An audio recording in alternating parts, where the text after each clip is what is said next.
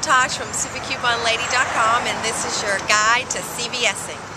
Um, before you get started, make sure to go to www.supercouponlady.com click on drugstore at the top and then click CVS and you'll see an entire list of the sale items and printable coupons for the week.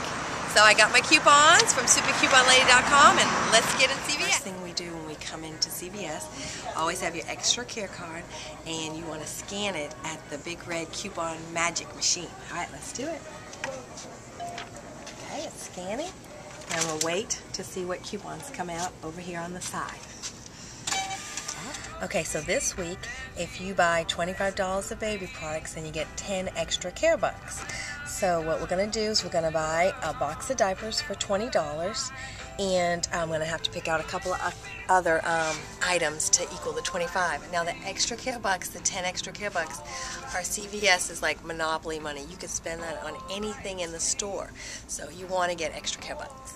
Okay, so I'm going to get two of these Johnson's Baby Washes Bubble Bath in order to get my $25 to get my 10 extra care bucks.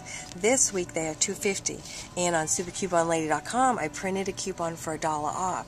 So I'll actually be getting these for a dollar fifty. Check out if you haven't registered your CVS card I would recommend you do. They send you emails with uh, dollars off like I have this one is $4 off 20 so I'm going to get $4 off my purchase today. Plus I have my printable coupons from Super Coupon Lady to get more money off. And at the checkout, make sure that you have a green tag. For every fourth time they scan it, you get one extra care buck. So it's a good tip. Alright, so we just got finished CVSing. I got my box of diapers, two Johnson & Johnsons, and I spent $16 plus tax on all that. And you'll notice, sorry, at the bottom of the receipt are your extra care bucks. That is the $10 I have to go back inside and buy some more stuff now or later. And um, it doesn't expire till October 6th, so I have plenty of time.